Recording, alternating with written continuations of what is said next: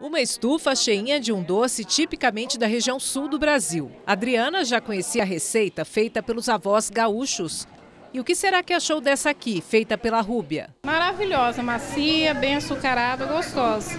A cueca virada caiu no gosto da clientela. Para quem não sabe, é uma espécie de pão doce frito nesse formato trançado de fora para dentro, ficando com o aspecto de tecido retorcido. Daí o nome. Em alguns lugares também é conhecido como orelha de gato. Mas afinal, o que tem nessa receita que faz tanto sucesso? É amor e carinho. é isso. É segredo mesmo? É esse o segredo. É muita força de vontade.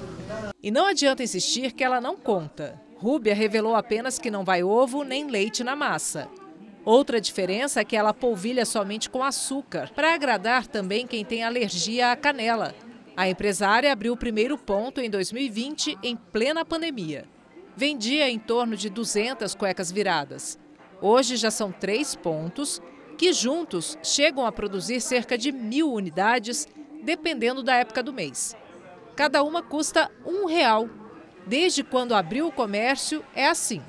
O resultado é uma grande saída de produto, das 6 da manhã às 7 da noite. É barato e é bom. Maravilhoso. Essa dobradinha, que não é a do doce, e sim do cliente e empresário, traz satisfação e resultado.